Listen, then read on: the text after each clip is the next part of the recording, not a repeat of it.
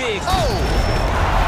Oh, and that is it. Referee has seen enough, and maybe so have we. Your winner by TKO. That was a great performance. Way to land those strikes and go and chase down the finish when you get an opportunity. Not every day you see a fight end due to a body kick like that. He used a lot of body work to slow down his opponent. Once his opponent slowed down, he was able to really impose his will on him and get the finish in such a high-profile fight.